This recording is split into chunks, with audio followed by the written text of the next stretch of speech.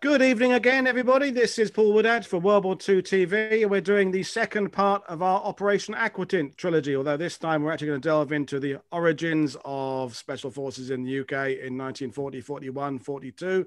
And I've got one very special guest, uh, Damien Lewis, author of numerous books about um, special forces and, and commandos and all that. So thank you very much for joining us, Damien. Are you well tonight? Yeah, very well. Thank you very much. Good to be here and I have you know him for those who follow World War II TV. But This time he's got a tie on. It's um, uh, Duncan Hollands, who normally is doing the camera work, um, who's going to be adding to the conversation because you've got a particular connection with Aquatint, isn't it, Duncan? Which is uh, my uncle Harry took part in Operation Aquatint. So, so that's yeah. pretty cool. Um, well, and we'll touch. You know, we'll bring you in later on to talk about that. So um, for those who saw the first show, the first show we did Operation Aquatint from the uh, point of view of the German defenders in Normandy and how they reacted to what they didn't know was happening around them and lights and boats and, and gunfire. And we did all that. And then we said at the end of that show, we would come back and talk about how it all began and how it all uh, came out, came to be. And that's why we came back with this show now. So it's it's an interesting history, isn't it, Damien? How special forces sort of come to be. So you know, in 1940, the British Army is pretty much how it was in the 1920s and 30s. It's, you know, the divisional system. And then Churchill starts um, talking about different types of warfare. So explain how Churchill fits into this whole um, whole story. Yeah, so uh, basically, 48 hours after um, Dunkirk, so June 1940, um, a, a, chap called Left, uh, Colonel Dudley Clarke who's a very underappreciated figure from World War II. People know him for deception operations, and he was a brilliant deceptionist. But but actually, he came to Churchill 48 hours after after Dunkirk and said, "I went to General Alexander because he was in his, he was in it on his staff and said, I've got a proposal to form uh, the British Commandos." And basically, Clarke was brought up in South Africa, and Clarke had seen the Boer Commandos. Mm basically run rings around British forces. So 25,000, 50,000 Boer commandos. The Boer commandos rode their own horses, carried their own hunting weapons, dressed in South African farming gear, irregular bands of really guerrilla fighters. He'd seen them in operation as a child. He'd actually been at the siege of Ladysmith, where they were besieged by the Boer commandos. And Clarke, you know, his opinion of them was they were wonderful fighters and a brilliant way to wage warfare, tying down you know, hundreds of thousands of British troops. So we went to um, Alexander and said, look, I, I, I, last night I came up with this one page idea for the British commandos. Anyway, that was put to Churchill. Churchill came back 24 hours later saying, you know, this has got my absolute blessing. Now, bear in mind, Churchill was also at the Boer War. He was there as a reporter and he was on an armored train traveling through the country. The Boer commandos ambushed it. And in helping organize the defense, Churchill was, was captured and held as a prisoner by the Boer commandos. And he, he, he, he made a absolutely epic escape and got away. So Churchill had also seen him in action and, and he gave it his absolute blessing. And he said to Clarke, I want you to get a raid back across the channel to attack the Germans by the end of the month. So let's just think about that, all right? Because hmm. that's very, very significant. That means having suffered cataclysmic defeat at Dunkirk, leaving tens of thousands of tanks, guns, and, and, and weaponry behind on the beaches, and, and, and many, many dead and captured Allied troops, Churchill has challenged Clarke to take the offensive, attack the enemy with a completely unknown and unfounded means of waging warfare, at least as far as the British Army was concerned. So Clarke had uh, no trained men, he had no equipment and he had no recruits. But by the end of the month, which is what Churchill had asked for, he got 90 guys. So this was the inaugural commando, commando raid, and it was codenamed Operation Collar, fittingly, let's collar the enemy. He got 90 commandos on RAF crash boats, which are inflatable dinghies which you use to pluck downed airmen out of the sea. He got them across the channel they raided a German outpost on on the, on the French coast. Uh, they, they, they caused casualties. They got all the men off alive. They evaded an E-boat. And they got back to British shores. Now, was it significant? it wasn't going to win the war. And the greatest schemes, I think, was it was an absolute pinprick. It was insignificant.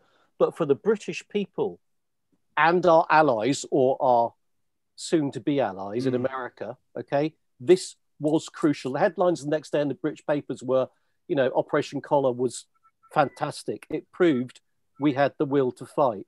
And the headlines in America were, you know, the British bulldog finds its bite. So it had achieved exactly what Clarke and Churchill set out to do. Neither of them believed that special operations, bear, bear in mind, the, the, the idea of special operations hadn't even been coalesced by then. The idea behind these operations was not that they would win the war, but it was that they would prove we had the, the will and the audacity and the spirit and the means to hit back. And that was why it was absolutely key. Uh, so that was really the birth of modern day special forces. And it's a really it's a really curious thing. But Churchill said, having having seen the success of that first raid, I want ten thousand commandos by the end of the year. Okay, which was a hell of an ask. And you've got to bear in mind he had enormous resistance for the military high command, the top brass, because, of course, they were in a defensive mindset. They were convinced Operation Sea Lion, the German invasion of Britain, was coming. They were convinced that we should roof in these islands and defend them at all cost. And their mindset was wholly defensive, which you can kind of understand. And of course, we were hopelessly short of trained soldiers and war material. And here was Churchill saying, I want 10,000 commandos by the end of the year. I want them to be given all the equipment they need in this completely unproven form of warfare. Uh, and it's extraordinary, but it's true. Clarke was summoned before the, the, the, the War Cabinet, and grudgingly they admitted that uh, Collar, uh, you know, had been a success, uh, certainly a propaganda success. And they said, um, but you can't surely be intending to call this force the commandos.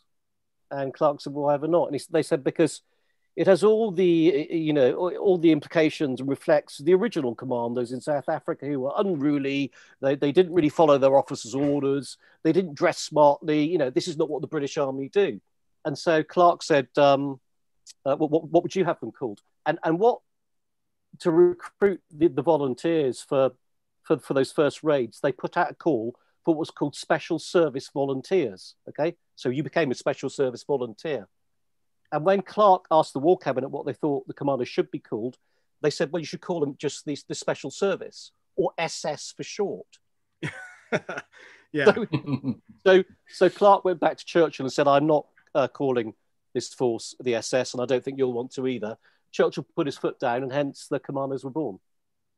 And and that what's so fascinating about this, from my point of view, is you know, well, and those of the those watching this, is that you know, you ask a modern kid to name elements of the British Army or the American military. They'll say Rangers and paratroopers and and and commandos and what's you know paratroopers. All this was new in 1940. All this hadn't been done. You know, the, the army, the system was a, a, an old-fashioned one. The people in charge of everything were were were fight, refighting the World War One in a sense. So all this is absolutely revolutionary, and you can understand the resistance uh, against putting money into a to a new force. But obviously, it happened. So tell us, um, uh, Damien, how um, where these first people came from, because uh, it, uh, you're doing something a bit new. You're putting out a call for volunteers without really being able to say exactly what, you, what you're volunteering for. So where did the first um, batch of people come from? Well, they came from all, all walks of life. I mean, you had, um, you know, you had landed gentry to the manor born types down to, you know, street brawlers, brawlers from Wigan and everything in between. Um, you know, it was a very eclectic church. That's the great thing about, you know, telling stories from special forces from World War II.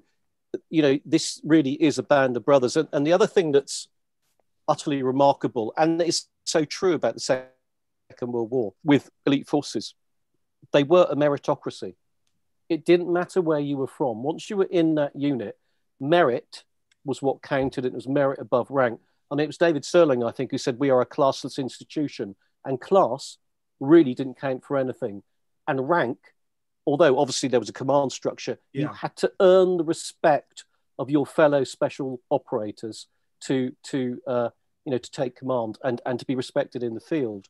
So you had a very broad church, like I say. I mean, those very first Operation Collar Commandos, there were some forces in Scotland who had been scheduled to go to Norway to deploy as part of the British Expeditionary Force there in the defence of Norway. Of course, the defence of Norway uh, didn't last very long. It was very gallantly fought by both the Norwegian forces and our own.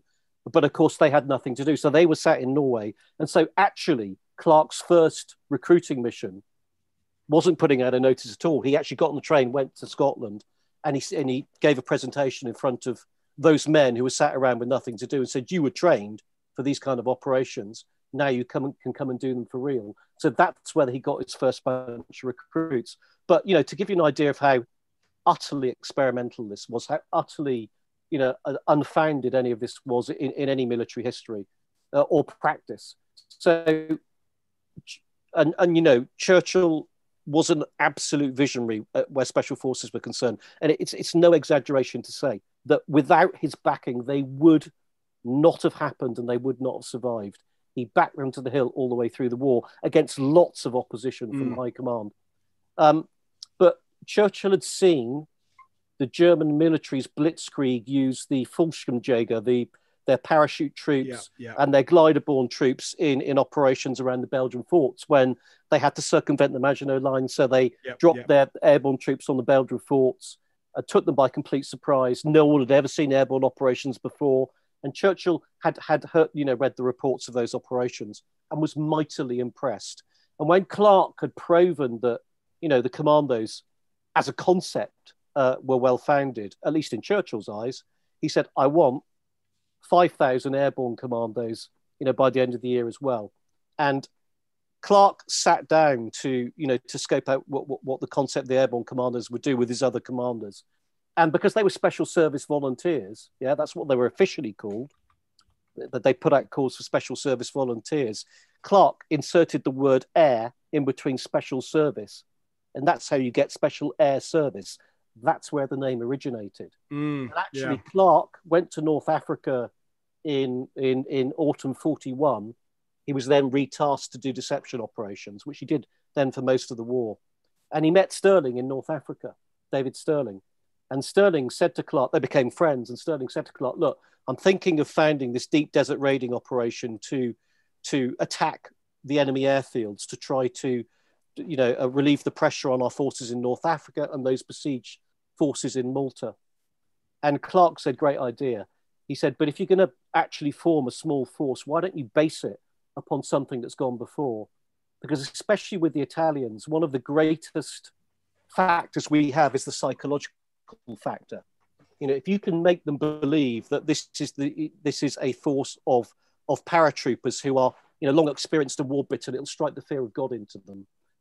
And one thing Clarke was doing um, to that end is he was dropping dummy commandos in the desert by parachute where he knew the Italians would see them, the Italian troops, to make the Italians believe we were dropping parachutists, to put fear into them. And he said to Stirling, if you adopt this name, Special Air Service, you know, and, and the, spe- and the Clarke Special Air Service, their first mission was in Italy in 41, which itself is an amazing story. First ever airborne operation by Allied, Allied forces. But Clarke said to Stirling, if you can adopt the SAS name and mantle, you know that will give you so much more clout as far as the enemy is concerned, and that's where where where the whole legacy came from.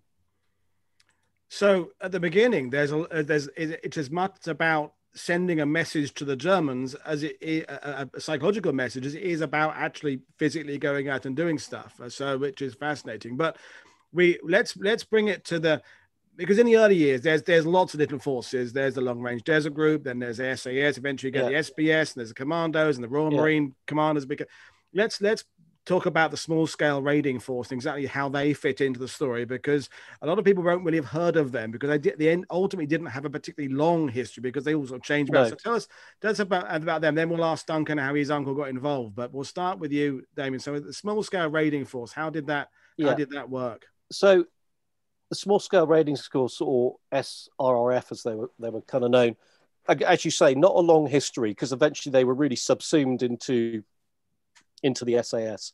But small scale raiding force fairly uniquely, in terms of special forces operations in World War II, was distinguished by the fact they were under the command of the Special Operations Executive, mm. SOE. Now, SOE, as you know, was Churchill's Ministry for Ungentlemanly Warfare. So, in a bit of explanation, even before the war, Churchill knew that when it came, and he knew it was coming, uh, it was going to be a total war. That's the phrase he adopted, i.e., you would fight this war the same way as the Nazis were fighting it, no holds barred. And unless you did that, you were not going to win. And so he wanted an organization that could do just that fight the war, no holds barred. And that means breaking all the rules. And he set up SOE to do that. It, it was officially called the, minist- uh, the, the, the Ministry for Economic Warfare, got the nickname the Ministry for Ungentlemanly Warfare.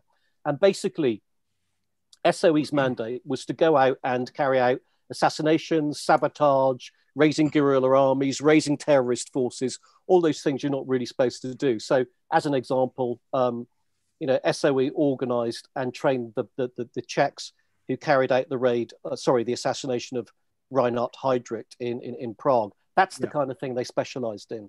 And so when, S, when the special small scale raiding force was raised, it was raised under SOE to do the kind of raids that you really perhaps weren't supposed to do, ones that could be denied if it was necessary.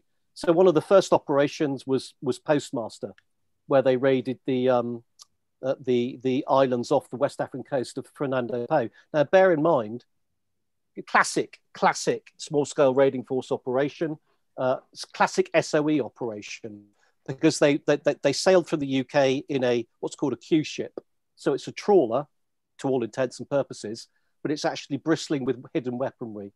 And they sailed in that to West Africa, and from there they launched the raid on the, on the harbours of Fernando Po, where they knew there were German ships moored, which were suspected of being uh, uh, refueling and, and, and repair points for German U-boats, which were causing havoc off the West African coast. Why was that? Why, why did that have to be a deniable operation? Because Fernando Po was Spanish colonial Spanish territory and therefore it was a neutral country, mm, mm. neutral territory. Carrying out what's basically piracy, stealing ships from a neutral territory, yeah. When Spain's not in the war, but if it does enter the war, it's going to be on the Nazi, the side of Nazi Germany. You can imagine the stakes of that operation. You yeah. couldn't get higher stakes. That's why it had to be deniable, because if they were caught and if they were found out, Churchill had to be able to say they're nothing to do with us. They're dressed in civilian clothing. Um, you know, we knew nothing about it. It wasn't on our orders. And that's exactly what SOE was set up to do. And the small scale raiding force was, if you like, the offensive arm of SOE. So, um, Duncan, how did your great uncle get involved in this caper right at the beginning? Or right, and I'll just show a photo of Duncan passing out at the at, at Guards Depot. So, what year was that, Duncan? That was uh, 81. And on the right there is the is your uncle. Yep. There we go. So tell us about him. Okay. So basically, um, uh, Lieutenant Freddie Bourne was given the command of MTB 344, nicknamed Little Pisser. Now, she was a very small MTB. She was only 60 feet long. And uh, there she is there. And basically, because she was short, she could get up onto the plane very quickly. She had twin um, twin engines. She had a, a, capable of 40 knots, 47 mile an hour when she got up onto the plane. She was exceptionally well armed. She had two torpedo tubes. She had Vickers machine guns to the side of the bridge. She also had two Lewis um, guns aft at the crew quarters. So she was heavily set up. And uh, Freddie took command of her. Um, I will tell you that prior to when he joined the Navy, he went to the Fleet Air uh, Fleet Air Arm, and um, unfortunately, he uh, he uh, he crashed an aircraft. So um, he started looking uh, of changing his um, outlook on what he could do in the in the Navy, and went into general service. And eventually, he ended up in a roundabout way going into the uh, the motor torpedo flotilla once he had done his uh, his courses and he'd done his general seaman stuff and he went up and did uh, torpedo courses up in Fort William, Scotland, he was given the command of motor torpedo vessel uh, 344. Now, when he got it, um, he was told by uh, Roger Thornycroft, who was uh, making these boats, that the army were looking at it. And did he mind? As it turned out, small scale raiding force were looking at these vessels and sort of had them penciled into their plans. So he was asked, would he come under the small scale raiding force, which he didn't have a problem with. He had been playing with um, A boats in the past and naval intelligence, so it wasn't a problem for him. And he went down to a place called um, Anderson Manor, just on the outskirts of Bere Regis in Dorset. And he met Major Gus, uh, Gus March Phillips, who was in command of the small scale raiding force, and Captain Geoffrey Appleyard, who was a 2IC down at Anderson Manor. And he was outlined, he was told roughly what was going on, how they were going to do these little missions. And subsequently, they started putting these, these missions together and they were being very successful. So okay. I'm, I'm going to hold you there for a minute, Duncan. I'll bring you back in again in a, in a minute. And um, so, so Damien, is that is that typical of how um, uh, these people got involved. Just you know, someone just turned up and said, you know, we've got this thing. Um, we'd like, you know, we'd like to get you involved. Is that is that typical? Yeah, I mean, you know, SOE, which was the, you know the the umbrella organisation for the small scale raiding force, um, they were known as the Tweed Cat Boys. No offence, you've you've got one on yourself, I see. Uh, and um, they were known as Tweed Cat Boys because it was an old boys club, and basically yeah. you could only get in uh, you, you, know, the SOE couldn't advertise for membership because it was a top secret deniable organization. It's obvious you could. So they had to recruit by the Old Boys Network, and that's what they did. Um, there's a fantastic story. Um, it, it's it's in SAS Italian Job, my book about Mike Lees, who was, you know, he's from a he's from a very very well connected landed gentry Dorset family. But you know, when he heard about the Tweed Cat Boys, when he realised there was room for him and the enemy in Europe and he could go and fight them in person. He wanted in, but even he didn't have the connections, so he had to blag his way in. He he basically got one of the Tweed Cat boys drunk in a bar, found out all his biographic details, realized he was going on holiday, walked into the SOE office and said, um, "You know, Sebastian's my old school pal," and had knew so much about him. The SOE believed him. That's how he got in. So yeah, it was generally, you know, the the handshake and the nod, and and getting invited in by by someone you know. I guess there were exceptions, you know, Lassen, Anders Lassen, yeah. um, you know, who who was the only, who is the only member of the British SAS to have ever won the Victoria Cross. Not British, obviously he's Danish, but he was in the British SAS. Yeah. You know, Lassen himself was recruited into the small scale raiding force, and of course he didn't have those connections coming from Denmark. In fact, he arrived in Britain having you know having basically stowed away on, on, on having been a merchant sailor. So Lassen was was invited in, but because you know, people rec- the, the recruiting office recognized him these absolutely extraordinary, uncanny abilities. You know, the fact he used to hunt, you know, for deer on his father's estate with a bow and arrow, and that he was he was proposing a bow and arrow as a means of silent killing during the war. This was exactly the kind of person they wanted. So there were exceptions, but largely you were recruited uh, by who you knew. And you know, did it work? Um, yeah, you can argue it did. You know, what other means did they have? You, you obviously you couldn't you couldn't advertise for or um, or, or go talking widely about an organisation which didn't exist was mm. deniable they had no other option, I guess. And I suppose at the beginning they don't they didn't even quite know what they wanted either, because because the ideas were in some ways going to come from the people they recruited. Because Churchill was saying we want to do these raids, someone's got to put these things together. So how you can do it and what you're going to do is going to be all, all influenced by the kind of people you bring in and say, well, we could do this with this type of boat, we could do this with this type of aircraft, and so it's a it's a sort of a, a combination of different skills. So um, yeah. Duncan mentioned um, March Phillips there. So I think yeah. we ought to bring him in because he's one of the characters in in in, in several of your books. And so um where where does he come into the story and who who exactly was he? I'll put his photo up. Yeah, so so March Phillips was was you know a typical um uh small scale raiding force uh, SOE recruit. I mean, you know, you, these very early recruits in, into SOE and, and, and small scale raiding force, it's fascinating when, when you go and dig around in the archives and get the original original documents they were given double o numbers So March Phillips would have been like 0016 or 008. And the 00 was actually, you know, we think of it from James Bond. Well, Bond yeah. stole it from, sorry, uh, you know, the author of Bond stole it from from the reality, from the SOE. And SOE gave people 00 orders, which meant you were licensed to basically kill in any means necessary, uh, you know, and, and, and, and with no, uh, no accountability to the law. That's what they were told. So you really did need very particular individuals. And it wasn't for most people.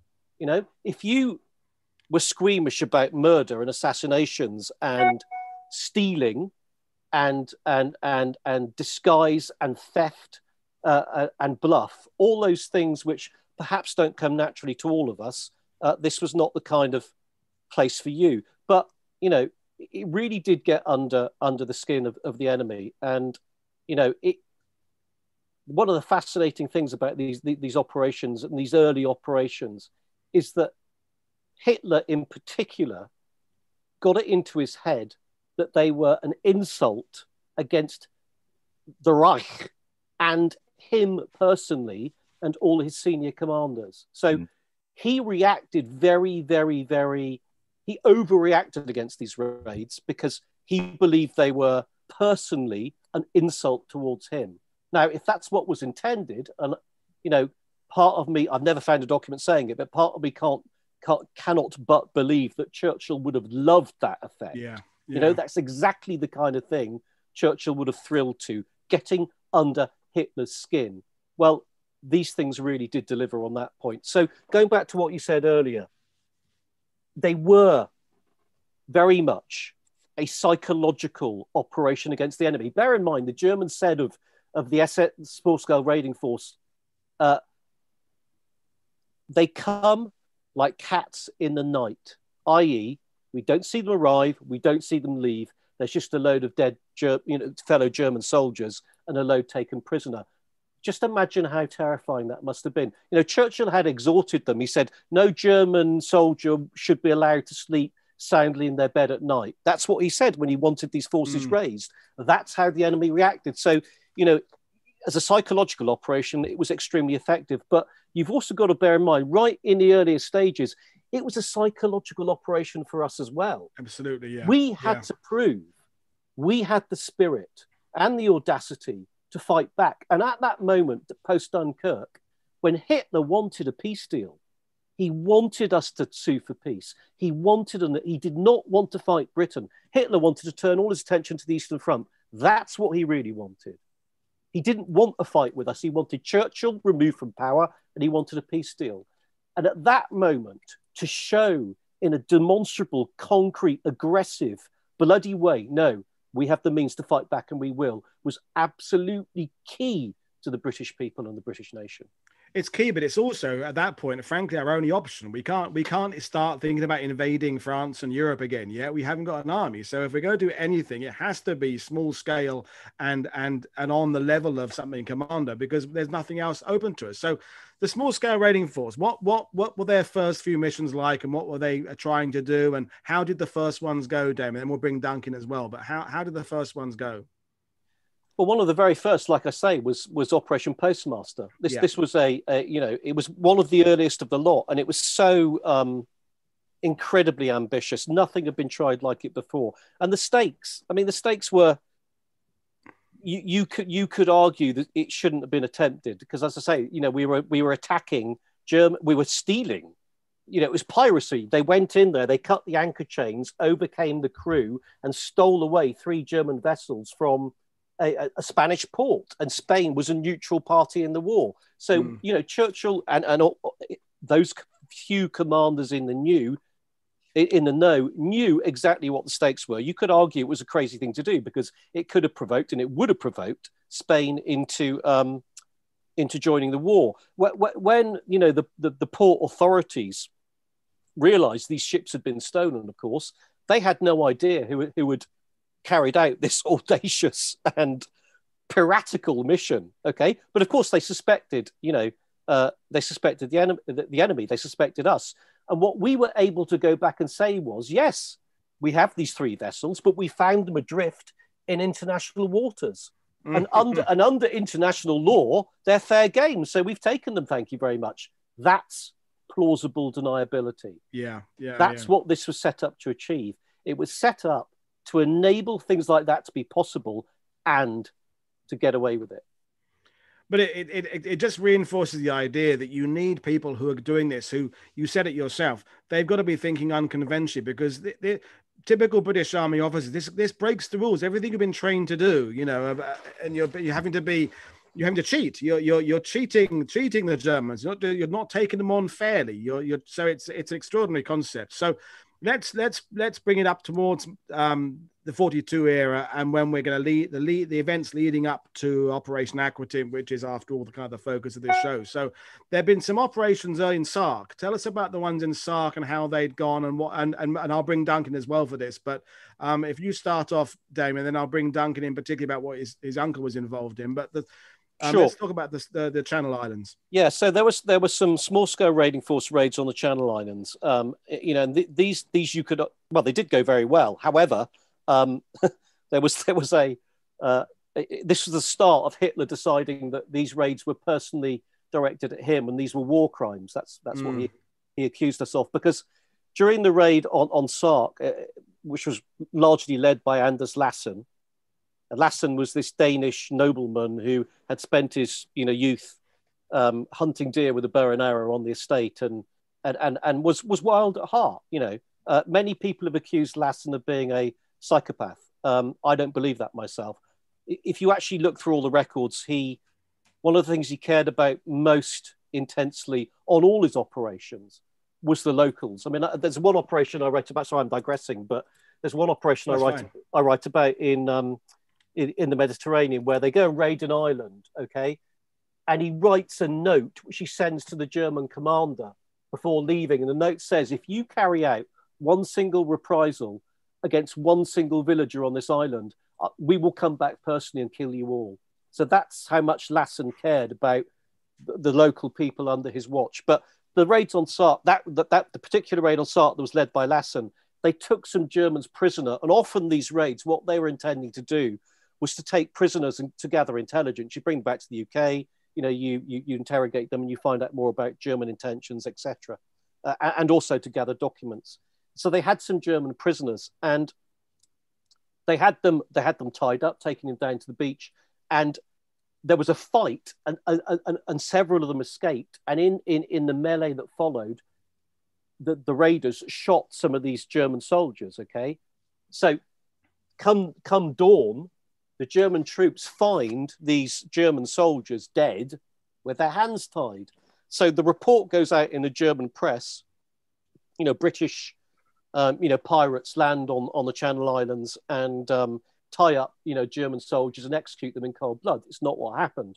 But that was the word that went out. Hitler's ap- apoplectic with rage.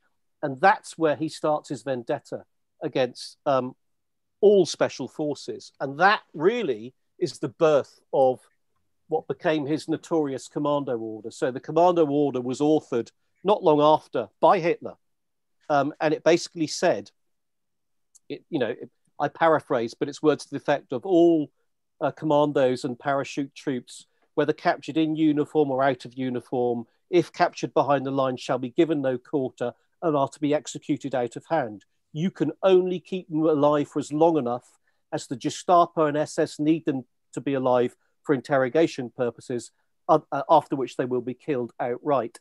Any German commander who disobeys this order will be called before the High Command to answer for his acts. So that meant any uh, small scale raiding force, commandos, SAS, SBS, paratroopers dropped behind the lines, captured by the enemy, was on a death sentence.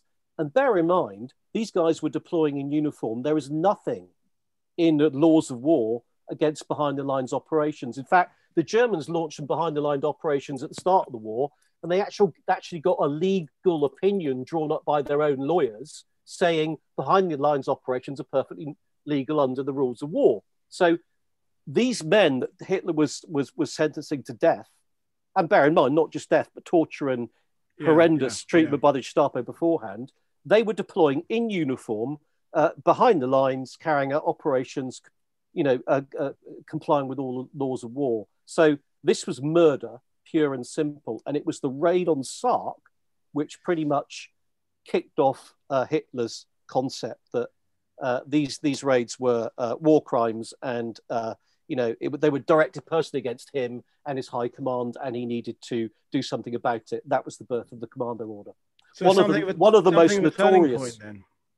Yeah, one of the most notorious um, you know developments of the war you know it wasn't and it wasn't just bear in mind it wasn't just it was also soe agents. So all those agents dropped behind enemy lines. Okay. Now they were dropped in civilian clothes. They weren't dropped in uniform. But even even if they were seized and arrested and held as spies even a spy under the laws of war and under international law must be given a fair trial. Okay? Yeah. There was none of these none of these uh, captured agents were given a trial. And bear in mind, in, in Britain, when we captured German agents, so the other way around, when they dropped people on our soil and they were in, in civilian clothes, we gave them a trial. And in the trial, we said, you know, or, or, or even before the trial, we said you've got two choices. You can stand trial, and you might, you might be um, sentenced to death, or you can come and work work for us. That was the double cross system. Uh, but that is complying with the laws of war, and it's what following the raid on Sark and one or two other raids that came shortly thereafter, that's what Hitler expressly denied under his commander order. Yeah. So this a turning point, really. So Duncan, to bring you in again now. So, um, when your um, your um, great uncle was involved in this, and he gets part of the MTB crew, um, tell when was he involved in the Sark raid? Yeah, he was. Yeah, he was. Um, basically, what happened? Well, let me explain. Basically, what happened? Um, second and third of September, forty-two. The Caskets Lighthouse uh, raid, uh, twelve-man team. Uh, they managed to successfully capture seven Germans. Three were sleeping. Two had just turned in. Two were on duty, and the German soldier in charge actually fainted. Some of these German soldiers were actually captured with hairnets and their pajamas on. But anyway, as Appleyard and um, March Phillips, uh, Anders Lassen, and um, Sergeant Godfrey Spencer were getting these guys onto onto the MTB. Um, unfortunately, um, Appleyard slipped on the rocks and he broke his tibia. And I think it was a wake up call for him because he realized that um, when men were killed and injured, um, he needed other people to, to step into the breach, so to speak. So Appleyard was an exceptional navigator. He was first class, and he decided to bring in a Belgian commando on the team called Rick Van Riel, and he was given the task. That's Appleyard there. As, yeah, as a second navigator, um, as standby. And when he came on board, another decision was made that there should be more navigators. Everyone had to do each other's jobs. Now, my uncle Harry was up at Bovington, which is just literally down the road from Bere Regis, and he was a nautical man. He was um, in the uh, the tank corps, but if you put a hatch down on a tank, no matter where he was, he seemed to find his way around the battlefield and around the training area and he had a. We've lost your image there for a minute, Duncan. Your bandwidth is low. We've lost your image. You've disappeared. But well, um, we can still hear you. But okay, now you're back now. Okay, so um, he had an interview at Anderson Manor, and he was given a uh, a job of an assistant assistant navigator, and his first outing happened to be Operation Aquatint and speaking to him, he remembers the operation, you know, exceptionally well. It's something that stuck in his mind right up until he passed away in 1991. He said, you know, first time on a boat, we were down down below navigating.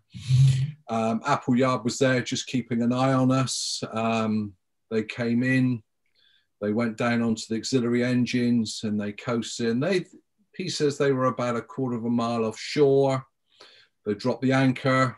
The dory went out with the guys on board. And he said, within a matter of minutes, he said, flares, searchlight. He said it was actually a white flare, not a red flare, as in the German record. And a decision was made by Appleyard to um, to get out of there. He said, "There's no way these guys are going to survive it." So they they cut the anchor ropes and um, they made it back to Portland um, under the cover of darkness, uh, trying to avoid any um, e boats being alerted and coming out of um, Cherbourg. But uh, from what he told me, uh, they carried out in total 17 operations, and the last operation was um, uh, Portland to St. Peter's Port uh, in Guernsey between the 7th and the 14th of January 44. Um, unfortunately, the weather affected the operations. Um, they were tasked to go there and put limpet mines on ships in the harbour. So, yeah, that was his little story. Well, and, and it's, it's fascinating because he, your uncle doesn't appear in most of the books, and that, that suggests no, he, that he, he was just he was just brought in at the 12th hour, last minute. Yeah, convenient. Um, to be honest with you, I, I think that uh, I think he did two operations. He never spoke much about it. I think he just did the two, and um, he stepped back into general service.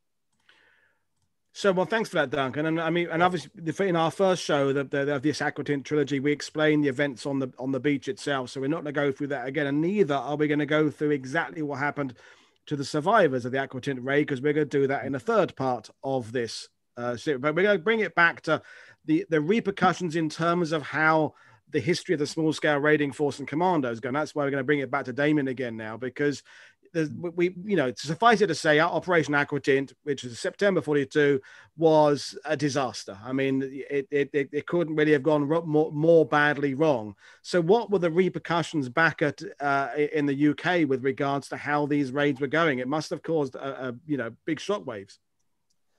Yeah, I mean, you know, they lost pretty much all the guys, and and more importantly, they lost Gus March Phillips, who who was the you know the really the founder of the small scale raiding force and and the inspiration behind it. I mean you know i, I can remember reading lassen's accounts. Um, so anders lassen was was scheduled to go on the mission and at the last moment uh, he was unable to go. I, I think he was ill at the time. And so he was waiting back in the uk for the men to return expecting them to come back as from many previous raids with german prisoners and with tales of daring do and in fact, you know, the, the MTB, Little Pisser came back, uh, but none of the none of the raiders, and you know they were all presumed, uh, you know, killed on, on, the raid. But most most most tellingly of all, um, Lassen was devastated by the loss of Gus March Phillips. But in terms of the wider ramifications of it, that was pretty much the end of the small scale raiding force, and you know the um, the, the, the survivors from that unit really were then um, subsumed, I guess you would say, under either the SAS or uh, back into the commandos. And, and, and then really a rump of them, Lassen included, went on. And I suppose this is where the, the, the through flow, this is the legacy, if you like. A rump of them, Lassen first and foremost, went then to form the, the special boat squadron. Of course, it was it wasn't called the SBS to start with, the special boat squadron. So what happened was you know, fairly early on during the birth of the SAS in North Africa, uh, you know, they realised they needed a, a, waterborne contingent, and of course that was the that was the genesis of the small scale raiding raiding force, and so those guys went on to form the Special Boat Squadron. Um, you know, uh, and whilst they were away from the UK, so by that I mean you've got to bear in mind when when the guys from the small scale, small scale raiding force fly out to North Africa to join the SAS and then fought, found the SBS, they are they're, they're a long way away from the UK, and their operations are, I mean, they are utterly piratical, and and they make no excuses for that. And indeed, you know, Churchill makes no excuses for that. In fact, that's exactly what he's called for. He's hmm. called mm. for them to spread terror amongst the enemy. And they're doing a very good job all the way across North Africa, across all those airfields across North Africa with the SAS, and across all those islands and, and, and, and German bases uh, and Italian bases in the Mediterranean. They are doing an extremely good job of spreading havoc and chaos and, most importantly, terror in the hearts of the enemy. I, I mentioned earlier that quote, yeah. they come and go like cats in the night. Uh, this was fearful stuff There weren't very many of them, but that's what special operations forces do. They're called a force multiplier. Yeah. So you Yeah. only need you only need a small band of specialist maverick raiders to tie down and strike fear into a much larger group. I mean, I digress again, and I'm jumping forward, but you know, um, to, in France, in behind the lines operations, and, and earlier, in fact, in Italy and even in North Africa, you know, the SAS on land had deliberately adopted a policy, and they called it cutting the head off the Nazi snake. So it's very simple. You see a column of vehicles coming along a road, a German military convoy, okay? Maybe there's 50 trucks crammed full of soldiers. You do not attack the trucks. You wait for the staff car. And when there's three staff cars, you, you've got particularly lucky, and you wait till they're all in front of your Jeep mounted machine guns, and then you open fire, you destroy the staff cars, you kill all the occupants, and then that's that's the shoot part of the attack, and then you do the scoot. It's a hit and run operation, and you get away. You don't bother with the soldiers because if you kill the, commanders, if you kill the officers, what's the average soldier going to think? They're going to think, not even Colonel so and so or General so and so or Captain so and so is safe from these British raiders that we never see that come like and go like cats in the night. Nothing strikes fear more into your rank and file than taking out the senior commanders, and that was an avowed policy of the SAS through the war. So, so you know, these operations were, you know, take no prisoner, very closely targeted, but but but piratical in the extreme. Um, you know, and, and it only really starts to become slightly more regularized. And by regularized, I mean more of the paying attention to dress, uniform, saluting, all the kind of things that the military is more renowned for, when all those forces are called back to the UK. And they're called back to the UK kind of end 43, early 44. And why are they called back to the UK? Well, they're called back uh, for preparations for D Day because those same forces are then going to deploy behind the lines in in France, um, you know, in, in support of the D-Day landings, and again spread havoc and chaos behind the lines, which is exactly what they do. But they come back to the UK, and they are this they are this war-bitten, highly decorated, piratical band of raiders who who you know many of them have been. Let's think, you know, if you're a small-scale raiding force veteran you know, or one of the early op collar veterans, you've been on raiding operations for, you know, three or four years back to back. Some mm. of these guys were doing multi operations a week. You know, Stirling said, you know, my ideal unit of raiders is four strong. Why?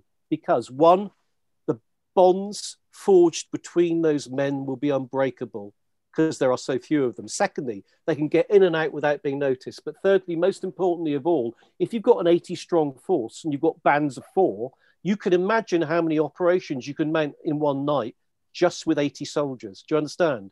Yeah. That's why they're a force multiplier. And, you know, it, it very successful it proved, but it's it's anathema to the British High Command. They come back to the UK. You know, that there are not only white Russians and Spanish Civil War veterans and French Foreign Legionnaires and, and every other nationality you can imagine within the ranks of the SAS. There's, there's, there's a lot of Germans. And the Germans basically, so largely they're German Jews, Austrian Jews, okay? They fled the Holocaust. They've seen their families suffer unspeakably, okay? And they were recruited mostly in North Africa within Palestine then a British protectorate. And, and they initially, a lot of them formed um, a, a, specific German speaking unit to carry out raids behind the lines, posing yeah. as German soldiers. It's another story.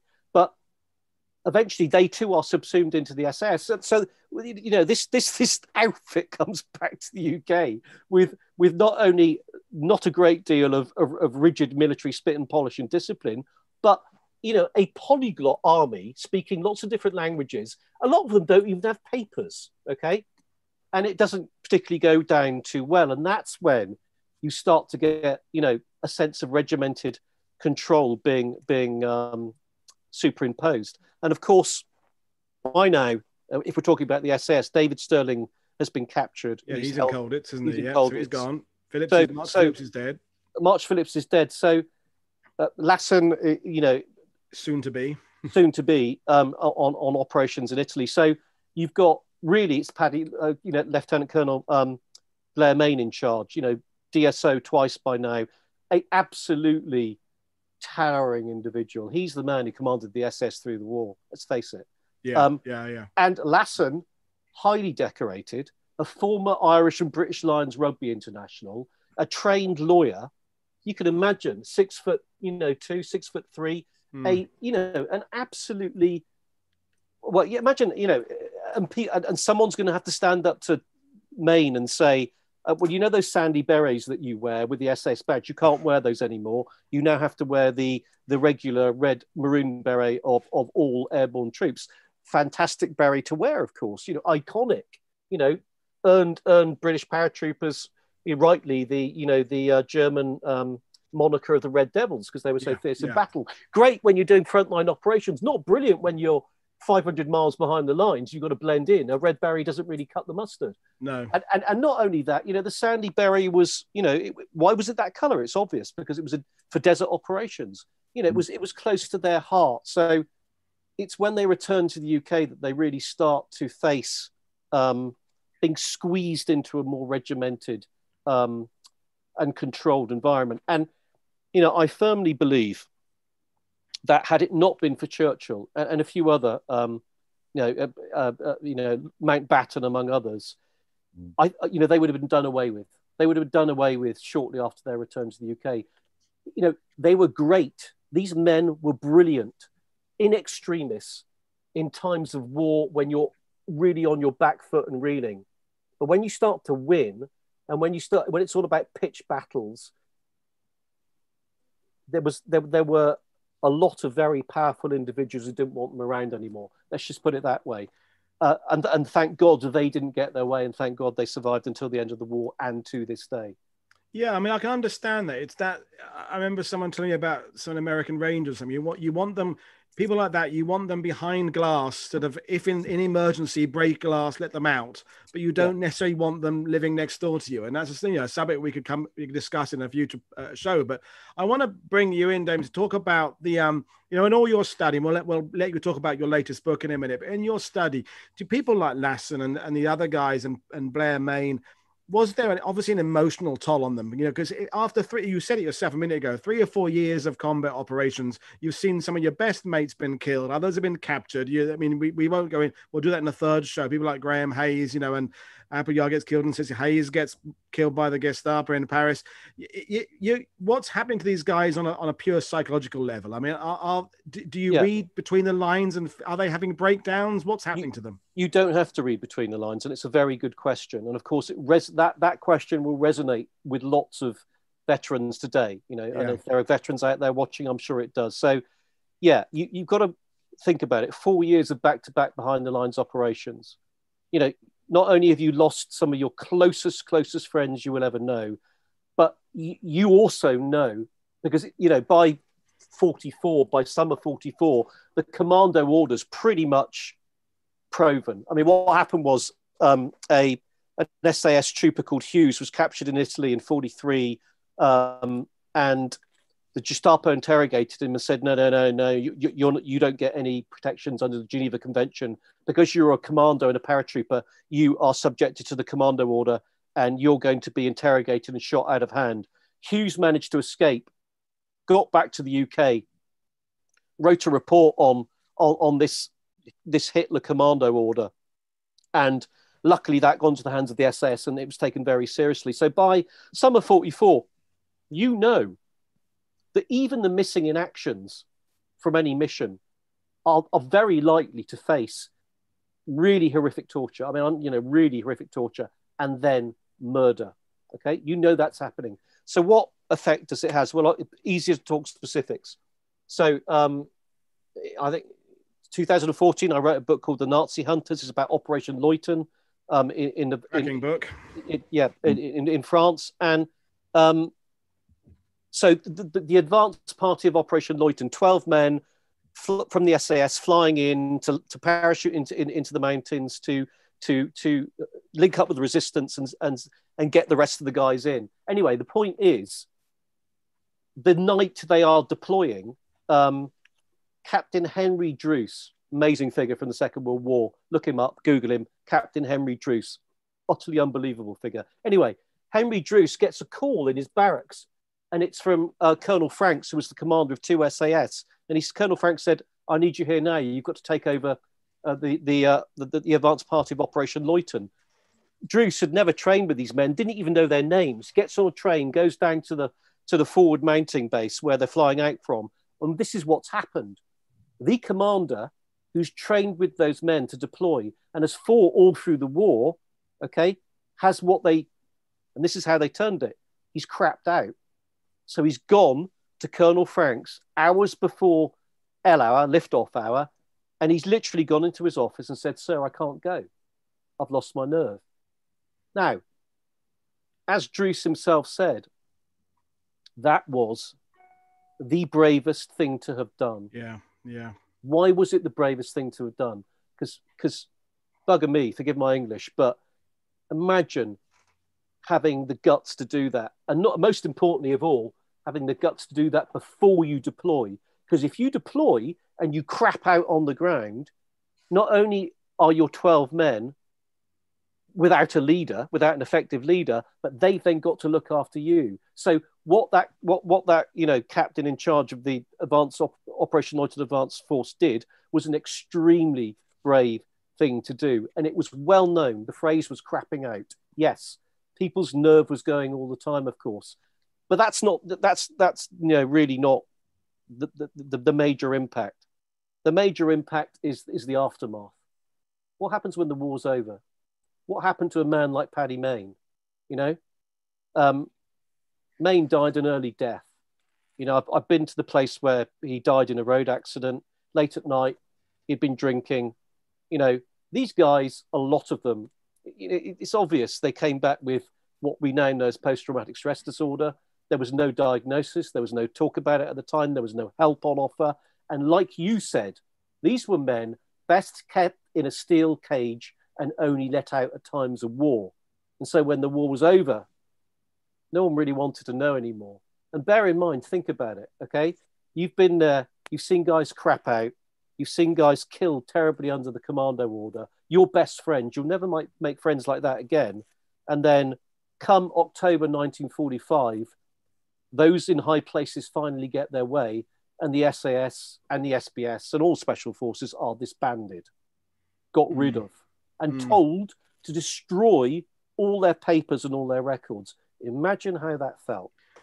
Yeah, well, I can't really. I mean, it's just it's it's devastating stuff. So, just briefly, Duncan, with your with your great uncle, because obviously you said he only did a couple of operations, but when you spoke to him later on, and he was able to look at um, uh, what happened to some of the men he'd been with, did he have any sort of survivor's guilt of the fact that men he'd been with had such horrific endings? Was that something you ever talk about? Um, basically, he said to me that um, he said to see, you know, Captain Appleyard, um, you know, have his put his hands, you know, his head into his hands and you know shed a tear.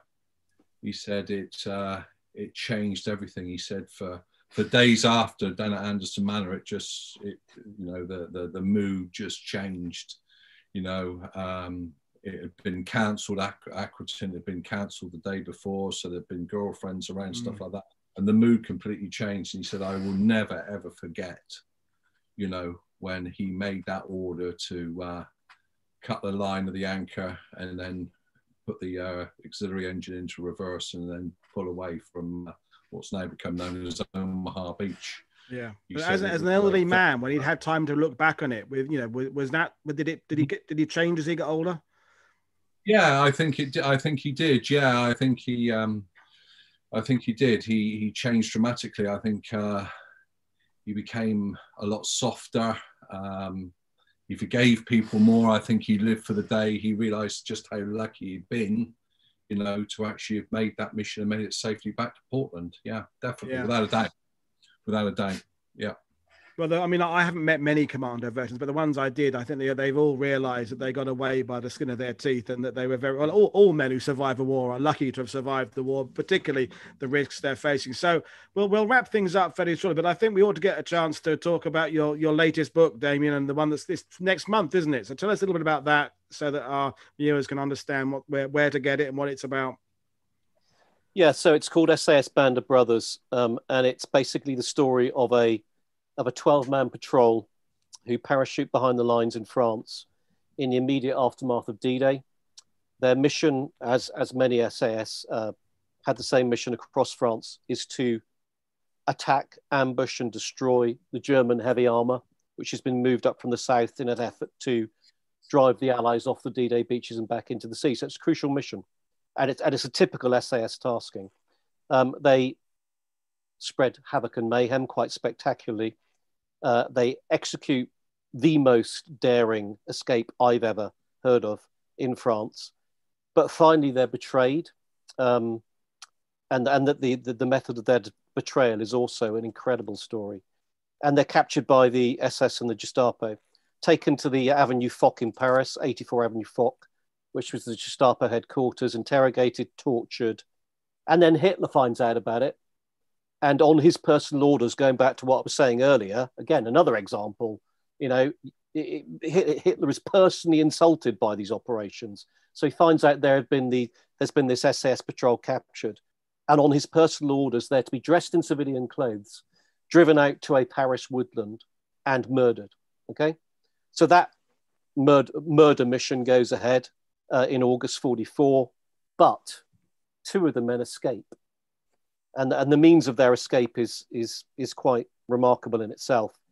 They link up with the French resistance. They fight with the French resistance for several months, and then at the end of the war, having soldiered through to war's end with the SAS, they join up with the SAS War Crimes Investigation War Crimes Investigation Team, what became known as the Secret Hunters. So the unit, which after the disbandment of the SAS carries on anyway, hunting war criminals for three years at the end of the war as a completely deniable black operation. Yeah, it's the, the most amazing story. And anyway, these two individuals join up with the SAS War Crimes Investigation Team to hunt down the killers. And in the summer of 1947, they get them into the courts, and justice is finally done. So it's one of those really unbelievably um, moving, gripping, dramatic, poignant uh, stories, cradle to the grave, you know. Um, and I've had so much help from the sons and the daughters of those who are on the mission, um, and and the sons and the daughters of the of, of, of the SAS War Crimes uh, Investigation Team. It, it's just been a joy to write. Um, can't wait for it to be out, and I'm really really proud to have been able to tell it. I'm all excited myself to read that one. It'll be it'll be a cracking mm. read, and and it and it when it, when you that little little excerpt you gave, that little condensed version of it there, just made me realize why on earth can people read these fiction spy books and fiction behind the line stuff when there's all these amazing real stories that are still uh, that are gripping, you know, and real, and you can actually un- understand what real men went through. I, it's it's staggering. I mean, and do you think? I mean, it's a silly, quite a loaded question, but are, are there going to be more stories? I mean, I'm sure there must be more in the archives. Obviously, you know where to find them now. So there, there are enough untapped commando special forces missions to, to, to, to generate a few more books, I hope. To last a lifetime. And the thing about it is, you're absolutely right. This is the great thing about it, right? if you were writing fiction, you couldn't make these people up. Yeah. If you exactly. made up Gus March Phillips or mm. Blair Paddy Mayne yeah. or Captain Pat Garstin, who leads this patrol that I'm, I'm just talking about, or Appleyard, or Lassen, people yeah. would hmm. think, no, no, no, those those people don't exist. That's that's too far fetched. If you made up the missions they went on, people say, no, no, no, come on, that's that's where Eagles dare stuff. That's that's yeah, fiction. Commando comics. Yeah. If you made up the escape that happens in SAS Band of Brothers, you'd say, no, no, no. That so. Not only are these stories absolutely gripping and dramatic and fast, fantastic and true, but no fiction writer could make up these characters on these kind of operations. That's the great thing about it. and I and I just want to say, you know, the, the, books of yours I've read, I haven't read every single one, but I've read most of them. I like the fact as well. You also give that human angle of who these people are and what happened to them. They're not just characters in your novel; they are people you genuinely seem to care about. And when they get killed, you are upset as the as the as the writer. I can feel your sadness at their loss, and and therefore as the reader, I feel that as well, which um, in fiction I don't get. So um I think well we've had a we had a great discussion, and um, um, I'd love to have you back on again and do something about the SAS at some point. That'd be really cool. If you'd like to come back, um, I'd happy to have you again. Duncan, you've given us some great insight into your uh, great uncle there. So, um, anything else you want to say, particularly about your what, particularly recollections of your grand of your great uncle Duncan? Anything? I just, I just, uh, you know, um, I find that Operation Aquatint um, to go down there like we do. We drive past the memorial most days when we're out there on the back on the battlefield. Um, we can work, that is, yeah. Normal years. Yeah. Yeah. yeah, normally. I just find it all very emotional. And, um, you know, uh, Damien, your your books, the attention to detail that you, you, you put in your books are absolutely amazing. You know, you you sort of like sucked into the book when you read it. I mean, yeah, can't thank, thank you, you, enough. Absolutely. Thank you. Yeah, no, I mean, it's crucial to bring these characters alive. And Absolutely. you know, and I get criticised in some quarters because people say you're not objective. You do care about your your protagonist, your characters. Well, mm-hmm. unashamedly so. Yeah, keep criticising me, you know, because that's how yeah. I tell stories. You know, this is yeah. about bringing history alive. And if we want to make this history relevant to younger generations coming up, we've got to make it real and visceral, and we've got to make these characters, you know, as exciting and vibrant and amazing as they were. You know, and yeah. that's what I try and do. Well, that's one of the reasons I do this YouTube channel because I'm, I know there are some people who watch things like this who would never go and buy a book because they're just not book buyers. And if I can reach one or two more people and understand what their forefathers did via this media medium as opposed to books, then it's a good thing. And if they go on and read a book as well, then it's a win-win for everybody. So I'm going to bring things to an end now. So we haven't actually got a date for our Aquatint Part Three yet. It'll be sometime probably early November now, and we'll particularly talk about what happened to the men who who didn't get killed directly in Aquatint, but were disappeared into the French countryside. We've got some cracking stories coming up for you there. We're hoping to have Dr. Helen Fry on talk about MI9 and their involvement in getting people back to England, and also we've got a chateau in in Normandy where one of the uh, survivors Graham Hayes went to, and we're going to go there and film from the, the building he was in. That'll be quite exciting. I haven't got a date for it yet. we will get to that at some point in terms of housekeeping, as usual, if you have enjoyed this, please click the Patreon link and consider giving us a donation on a monthly basis. That'd be very nice. I've got nothing tomorrow. Friday evening, we've got our brilliant war films panel in our NAAFI Natters, a bit more informal. We've got a couple of actors on, a director of photography, a couple of historians talking about our favorite war films. I won't tell you what my nominations are, but one is a very obscure one um, with David Hemmings in it. We'll talk about that on Friday. But come and then Saturday we've got a live stream from Gold Beach with Ben Main about Nest 35 and 35A, which Duncan will be out on the ground again, minus your tie that time. You'll be out in the rain again, Duncan. We'll send you out to do your proper job. So I've enjoyed it tonight. So hopefully people enjoyed it watching it. There's been some nice feedback on YouTube there about um, about it. So I know at least two or three people said they're going to buy your book. So that's a another few pence in the coffers there, Damien. So that's good. So um, thank you very much for joining us, Damien. Thank you, Duncan. Um, I'm Paul Woodadge for World War II TV saying I'll see you all again soon. Um, and it's been an e- interesting evening. Thank you very much for watching. Good night. Good night. Good night.